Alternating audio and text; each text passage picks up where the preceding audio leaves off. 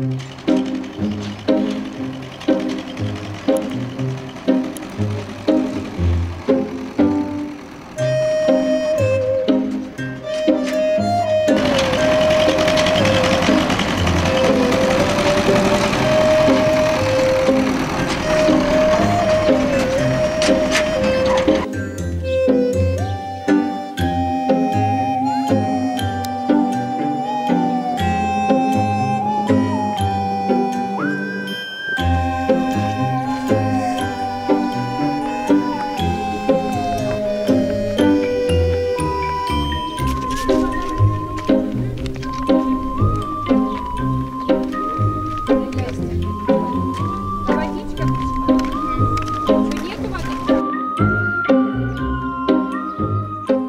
Это село Тушиловка в Дагестане. Стоит оно практически на берегу Каспийского моря. И здесь толком нет никакой воды. Ни для полива, ни питьевой. Не потому, что это засушливое лето, которое принесло проблемы в другие регионы с водоснабжением, а потому что в Тушиловке просто перестали чистить те мелиоративные каналы, которые были построены еще в советское время для водоснабжения совхоза. А, их просто не чистили, и поэтому воды здесь нет. Зато здесь есть простой рыбак Виталий, который решил, что это несправедливо и нечестно, и начал бороться с местными чиновниками и администрацией за свое право на воду. Месяц назад перед поправками, перед голосованием по поправкам в Конституцию людям обещали, что в каналах вода появится, но, как вы видите, нынче 15 июля воды до сих пор нет. Несмотря на это, Виталий свою борьбу не бросает и верит, что в Тушиловку вернется вода, жизнь, и что они даже построят свой пляж на берегу Старого канала.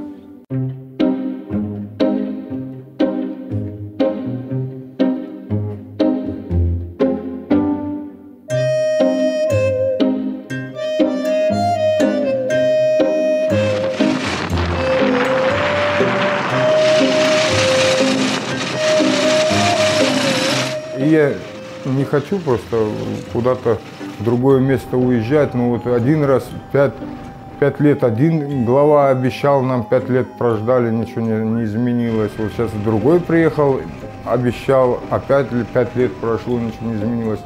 Вот с 2014 года вот так обещают, обещают нам, а толку нету. Мы решили писать, я, я писал письма, я уже, понимаете, уже там и чуть-чуть давление было, даже там сверху, там что-то как-то. Ну, нет, в четырнадцатом году вообще эти, ну, полиция рыбу просто-напросто подкинули, пять голов красной рыбы, хотели меня написать дело уголовное прогнать по 256 статье добыча, незаконная добыча биоресурсов, короче, это. Ну, вот после этого я тоже писал, я ездил, я все, все, мне потом дело было прекращено за отсутствие состава преступления. Просто я, я знал, что, что я прав.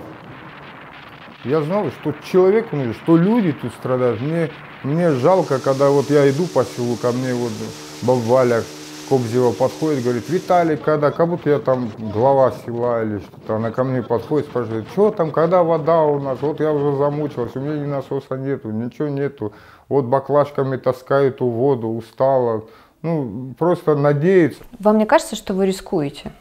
А чем рискую? ну, жизнью своей, безопасностью своей, если вам угрожают и пытались уголовное дело на вас, против вас возбудить. А что уже боя? А чем так жить лучше, что теперь делать? Рано или поздно все умрем. Какая разница?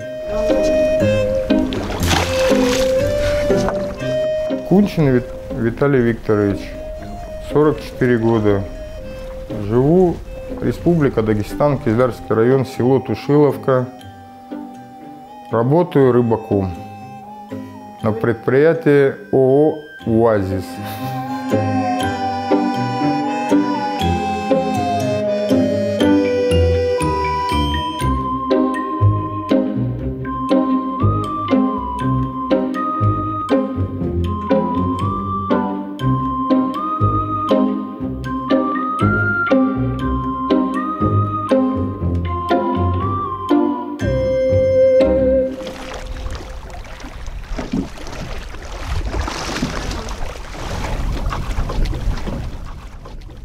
Русский. Мои предки русские. Здесь у меня и бабушки похоронены, и дедушки, и мать похоронил здесь. Отец живой еще. Да, про мы в, основном терские казаки были, жили по эту сторону Терека. Ну, как слева или с правой стороны. Ну, с этой стороны, с стороны Владикавказа. Терека жили терские казаки. Наверх поднимемся, подвяжем. Давай. Люди мы дружные, аварцы, даргинцы, табасаранцы, кумыки. Мы живем дружно, мы всегда выручаем друг друга в беде. Единственное, вот соседи у меня, вот аварцы, даргинцы, там, вот они не боятся. Они на меня, наоборот, поддерживают, они меня а наши уходили в сторону. Просто и еще говорили, я говорю, там, вот, допустим, давай что-нибудь, да, давай напишем, что там решим. Да, Виталик, хватит, ты уже писал, и что ты, судили тебя туда-сюда, ты что, что ты там сейчас докажешь, власти нет никакой. Бля, а что бояться?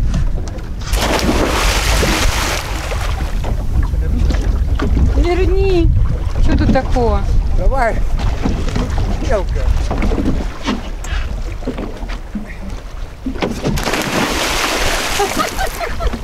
Арсен – это друг Виталия. Именно он, получается, написал блогеру, который сюда приехал, рассказал историю села, и, в общем, так это вызвало резонанс.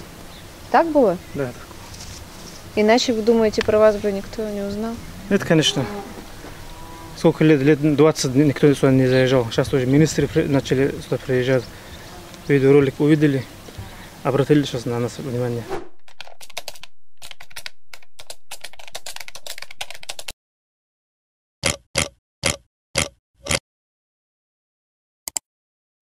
Полгода назад я был в Тушиловке, это Кизлярский район, Республика Дагестан. Хотел снять просто видео о море, о рыбаках, но люди попросили через мой канал обратиться еще и к правлению района и республики, озвучить проблемы, не терпящие отлагательств, как казалось на тот момент. Это было сделано... И... Хозяйство сказал, через неделю вода будет, что-то нет. Ну, ну да, уже месяц. Ну, подождем, подождем. Ну, ну, ну, Дольше ждали. Дольше, Конечно. Подождем. Ты же не поливаешь. А что поливаем? То на то, что посадили, все сгорело уже. Да, да. Оно пока еще была немножко вода, мы поливали. А сейчас ее для питья ее нету толком. Постирать ночами стираем. Вот я вчера ночью стирала вещи. Ну правильно. Днем не было. Она После того, как было видео вы, вытащено в YouTube-канале «Дикий краевед», вроде сюда приехал Абдул Муслимов, Абдул Муслим Гудинович, это первый ну, заместитель председателя правительства республики, и Курбанов Залкип Магомедович, директор мелиорации республики.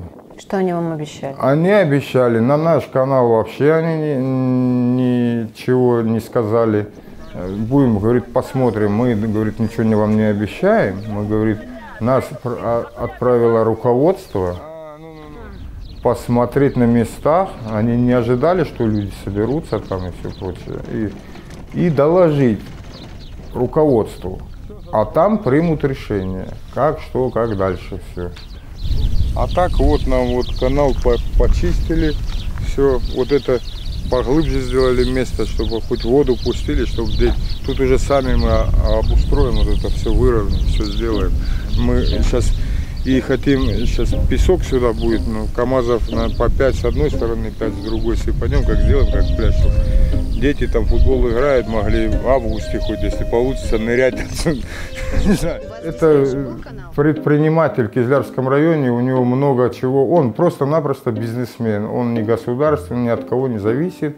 У него рисоперерабатывающий завод Черняевки, потом КРС. Он дал денег или как это? Нет, его, его позвали, его вызвали туда, в Махачкалу, и просто э, попросили его помочь здесь.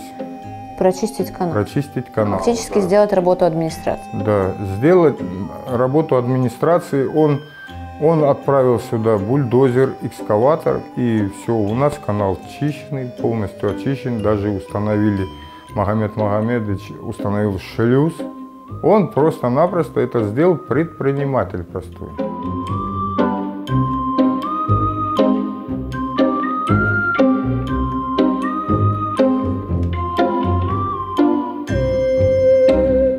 Чего вы сейчас ждете? Почему у вас воды все еще нет в канале?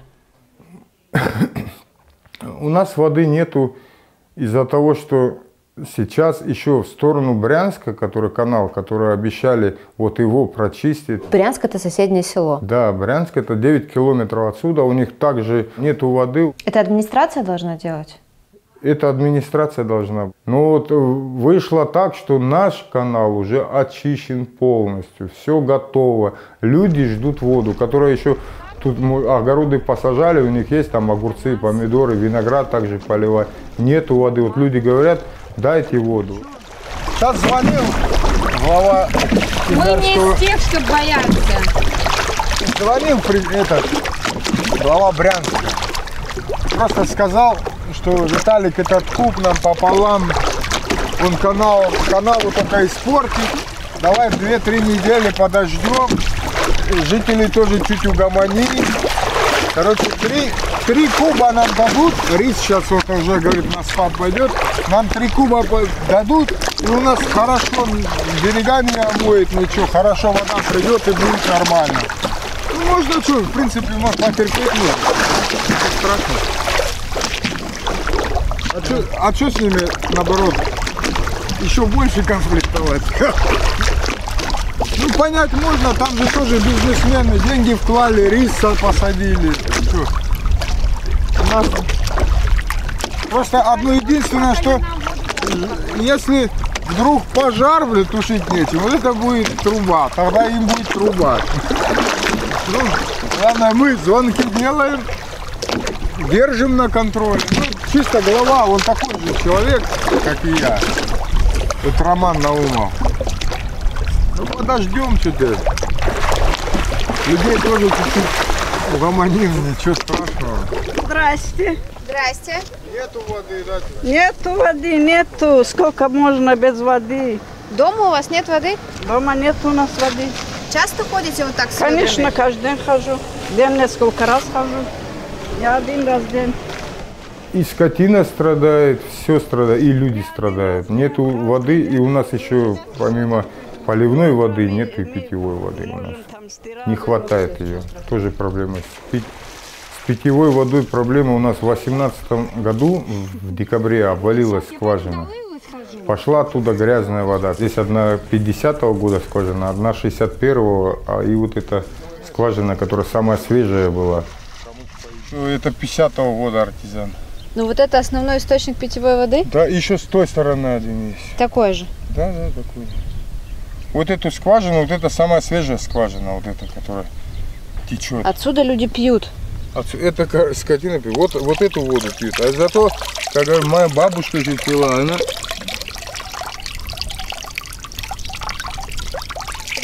Говорят, самая хорошая вода Так, среди артизанов. Оксана, это, С 18 года мы сколько бьемся, ничего абсолютно не хотят. Какие-то тендеры разыгрывают, какие-то не хотят. Там чистить ее, мы даже хотели ее сами очистить. 200 тысяч там обходилась она нам сами просто компрессором продуть, чтобы ее до фильтра и чтобы пошла чистая вода. Она бы через день-два очистилась и потом можно было бы к системе подключить. Но нам сказали не лезьте, а то посадим всех. За что? За то, что залезли самовольно, там нету зеленки, как на нее не было, не было ничего, ни документации никакой не было с самого начала, как ее пробурили. Вы готовы были скинуться? Мы, да, мы готовы были, а чем просить, у- чем просить у них, извините, это уже надоело. Что там море, мы работали море весной, более-менее люди зарабатывали еще как-то что-то, могли бы эту проблему решить, но нам не дали. Тебя как зовут? Заира. Заира? Сколько у вас в семье детей? Шесть. Шесть? А вода дома есть? Ну, идет так, редко. Плохо? Часто за водой ходишь? Ну, да. Ты в основном или родители? Ну, я хожу, мама-то не ходит, она с мелким постоянно бывает. А сколько младшим? Три Года или месяца? года. Понятно. Сколько раз в день ты можешь так за водой сходить? Ну, три. Ты уже привыкла к этому? Да. Ты потом собираешься уехать отсюда или здесь остаться? Уехать, конечно. Куда ты хочешь уехать? Ну, не знаю. Какие варианты есть? Даже если честно, не знаю, куда родители отправят сюда поступать. Ну, у нас в селе вот проживает 215 хозяйств, это 215 семей. Каждый, большинство многодетных детей. 4, 5, вот как по Дагестанскому. Один другого меньше, надо за маленькими детьми и пеленки там спирать, и что-то вещи. Нету воды, реально нету ни поливной, ничего. Я даже не знаю, как это на что похоже, не знаю. Когда чистая скважина, я вот тут подсоединял, сетки стирал, все стирал, керхер подсоединял. Сейчас керхер у меня не к чему подожди, подсоединить. Мы даже мотоцикл помыть, вот нету воды, вообще не идет. Пока скважина не очистится. Что там у вас? Об стенку. Это у нас точилка такая. Так, все. Об стенку. Ну да, от же цемента на это, как и острый, ну что потрогай. Не, я А что делать? Надо как-то.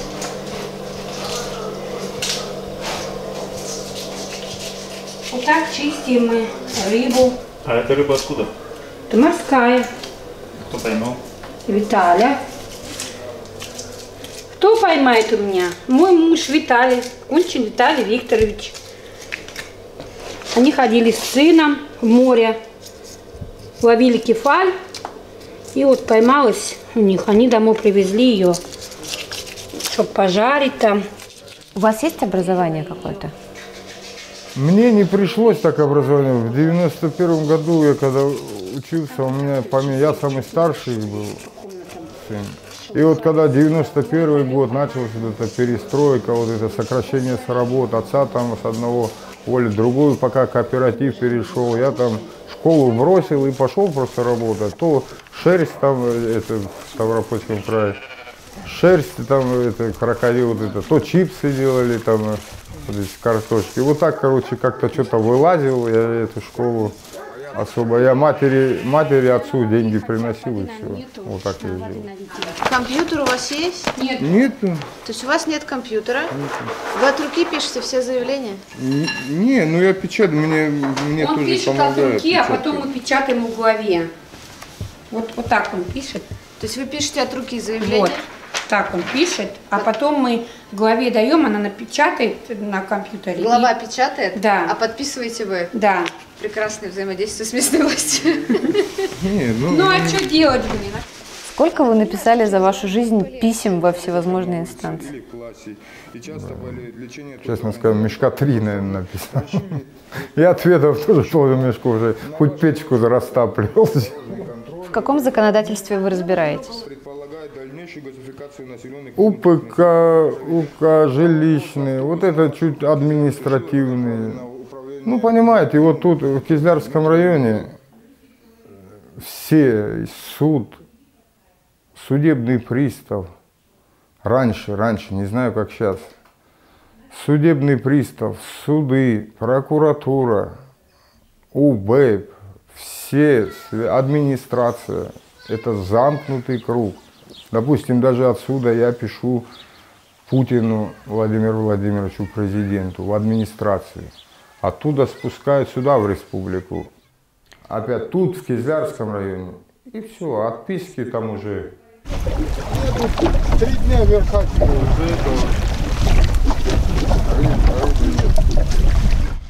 Ну как тут можно решить, если в Кизляре прокурор, судья, адвокат и начальник полиции вместе в банкетном зале отмечают свадьбы и все прочее? Как можно решить простому человеку? А? Вот сами поймите. Никак.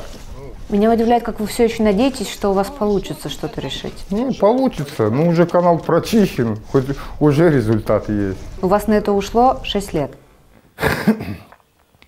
Да, ну, с этого хотя бы с воды начнем. Так-то в голове у меня много планов. Поднимать село чуть-чуть. Ну, с этого начнем.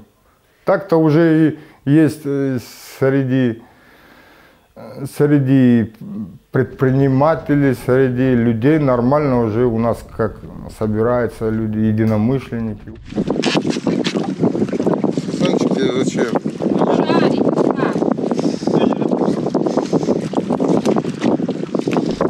Мне нравится здесь жить, это моя родина. У меня вот здесь все похоронены родственники. И мне нравится, я своего сына вас и своих детей воспитываю здесь на месте. Зачем-то у нас многие, которые детей просто отучивают, вот в Кизляре, допустим, платят деньги вот туда-сюда, чтобы образование получить, какого-то там электромеханический колледж или там педагогический для начальных классов. И отправляют отсюда, отсюда чтобы в России перспектива была. Вот не как раньше было, вот, допустим, когда работал тут колхоз Победа Каспия, все работало. Вот кормосовхоз Тушиловский рядом был, 100 тракторов было. Люди при работе были. Вот перестройку в одночасье все это убралось, знаете, ушло. Вот мой сенокос, и тут я кашу телята, телят кормить сено. Вот это всю плантацию уже здесь?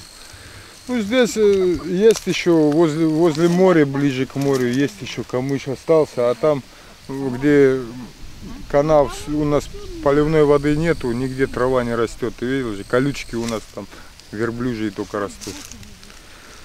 Вот сейчас покажу, пучка 3-4. Телята будут улыбаться. Для нас э, эта вода давала, что были, было тут э, 900 гектар прудовых хозяйств было только. Только занимались люди товарным рыболовством.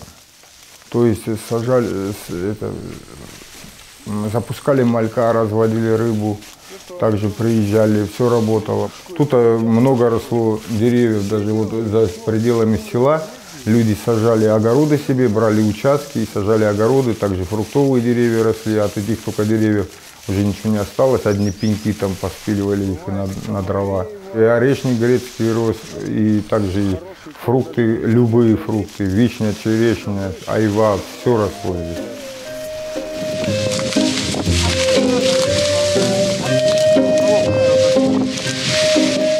Это вот если, если так получается, это геноцид населения, не раз- вне зависимости от нации идет. Если они нас лишают простой воды, это созда... написано же там создание жизненных условий, связанных на уничтожение этой группы. Или нам тут отсюда сейчас вещи собирать и уезжать.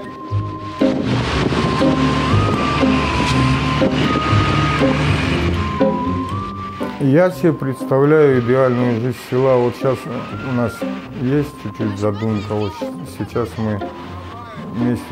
Вот если это добьемся мы, подача поливной воды. Если будет вода здесь, тут и появятся, которые будут разводить, допустим, деньги вложат. Рыба, рыб, ну как, рыбоперерабатывающий завод. Также озеленение села сделаем, устроим. И рыба добывающим предприятиям, если будет переработка здесь стоять, или консервы, или коптить рыбу будет, какой-то хоть легкая какая-то, то будет большой-большой тут, и на ну, как, плюс.